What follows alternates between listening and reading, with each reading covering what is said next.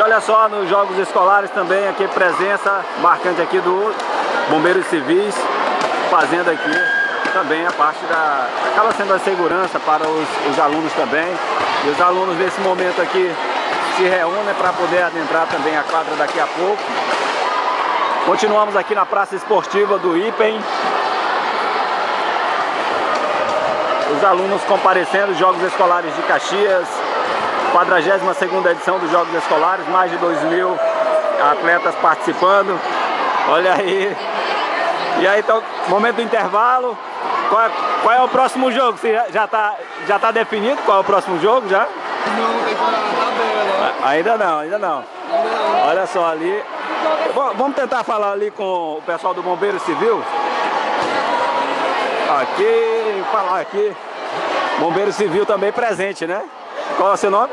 Alves, Alves. Pro... É, esse momento vocês, vocês fazem a segurança, né? Durante o. Exatamente. Eu queria que você. Quer dizer, em todos os ginásios, o bombeiro presente. Tem bombeiro O bombeiro presente, né? É, tudo ele tem. Ok, então. Geralmente é, vocês, vocês fazem a presença, né? E o que, que vocês acabam verificando também assim? Do...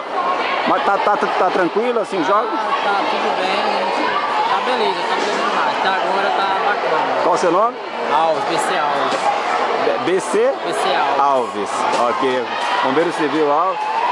E olha só, o pessoal está aguardando aqui o início, reinício dos jogos.